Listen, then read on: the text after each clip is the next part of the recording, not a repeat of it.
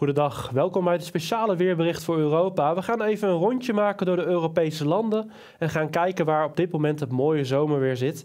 Ik heb alvast een plaatje meegenomen van het Gardameer deze middag. Daar schijnt de zon volop en is het echt wel ideaal weer. Hoe anders was het vorig jaar hier aan het Gardameer? Want toen vielen er hagelstenen van soms al 10 centimeter groot en was het echt wel noodweer. Nou, ik kan alvast verklappen, hier blijft het deze week rustig. Maar er zijn toch ook al gebieden in Europa waar men rekening moet houden met af en toe stevige regen- en onweersbuien.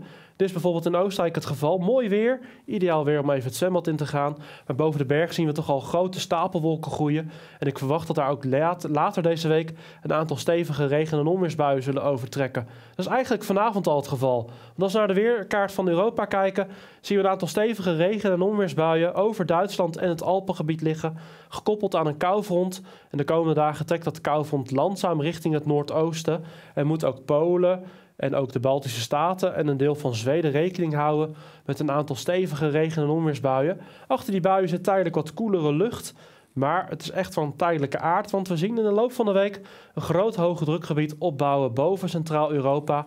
Dan zien we die buiensignalen vooral naar de uithoeken van de weerkaart verdwijnen en is het eigenlijk in heel Europa wel vriendelijk weer. Wel is het zo dat in de Alpenlanden er af en toe wat stevige regen- en onweersbuien kunnen ontstaan. Daar zien we af en toe die signalen toch weer toenemen. In die warme lucht met forcering van de bergen, stapelwolken die kunnen uitgroeien tot onweersbuien. Maar voor de rest is het dus eigenlijk in heel Europa rustig en mooi zomerweer deze week. Richting vrijdag zien we wel een sterke depressie ontwikkelen boven de Britse eilanden. Daar zit dan echt al wat slechter weer op. Veel wind, buien, koeler weer. En dat trekt in de loop van de weekend het continent op. En als het dan in aanraking komt met dus die warme lucht, ontstaan er felle regen- en onweersbuien boven Duitsland, Denemarken, misschien ook wat zuiden van Zweden weer en natuurlijk de Alpenlanden. En die buiigheid trekt langzaam richting Oost-Europa. Maar ook dan zien we toch alweer voorzichtig een hoge drukgebied opbouwen richting de nieuwe week. Dus ik denk dat dat zomerweer wel goed zit in die hoek van Europa. Maar op de Britse eilanden dus niet. Daar dus vaak veel wind later in de week en buien. En in Zuid-Europa ziet u eigenlijk vrijwel niks gebeuren. En is het dus heet zomerweer. Als we kijken naar de bijbehorende temperatuur. Dan beginnen we weer woensdag. Dan zien we dus die koelere lucht vanuit het westen al opgedrongen tot uh, Polen, maar ook de Baltische Staten. Daar dus die onweersbuien op het scheidingsvlak. En die warme lucht met dus nog 40 graden in mijn uithoek verdwijnt snel weg naar de uithoeken. En dan zien we dus een vrij gematigde temperatuur voor enig tijd. Maar in de loop van donderdag en zeker richting vrijdag, als het hoge drukgebied verder opbouwt, zien we overal toch wel weer zomerse temperaturen. Ook in Noord-Europa temperaturen van 20 tot 25 graden. En ook in onze hoek van Europa dus die hogere temperaturen. Alleen de Britse eilanden die blijven wat meer achter. Dat is toch echt wel het koelere hoekje van Europa voor deze week. En ook als we naar Zuid-Europa kijken, zien we hoge temperaturen. In Budapest 41 graden woensdagmiddag en ook elders in Rome, maar ook in Madrid temperaturen die later in de week weer richting 40 graden gaan. Gebeurt eigenlijk vrij weinig. We zien dat die warmte s'avonds wel iets afbrokkelt, maar het blijft vrij heet. En ook in Griekenland en Turkije vrij hoge waarden, Balkanlanden ook.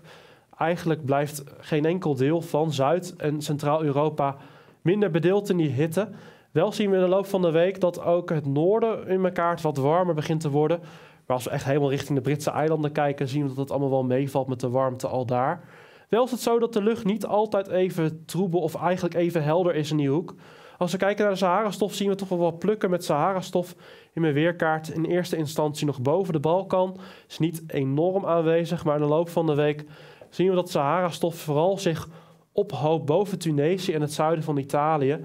Al daar dus veel Sahara-stof in de lucht. En later in de week, als de wind naar het zuiden begint te draaien, krijgt ook een deel van de Costa's en het zuidoosten van Spanje te maken met Sahara-stof en zou de lucht niet altijd even blauw zijn.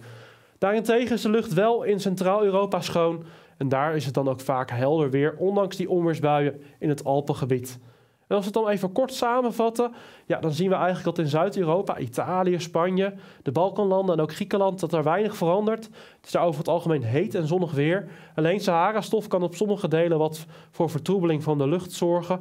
Kijk wel uit overdag, het kan dus echt 40 graden of warmer worden.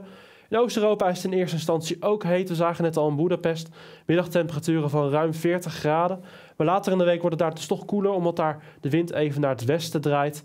En in Centraal-Europa is het dus over het algemeen ook vrij warm weer, met later in de week hogere temperaturen. Maar wel zien we verspreid over Europa soms stevige onweersbuien ontstaan. In eerste instantie op het scheidingsvlak tussen die wat koelere en warmere lucht. En later vooral in de Alpenlanden en als dus weer dat koufront richting het weekend Centraal-Europa induikt. Voor de rest dus ideaal zomerweer, behalve op de Britse eilanden. Ik wens u een fijne week en tot de volgende keer.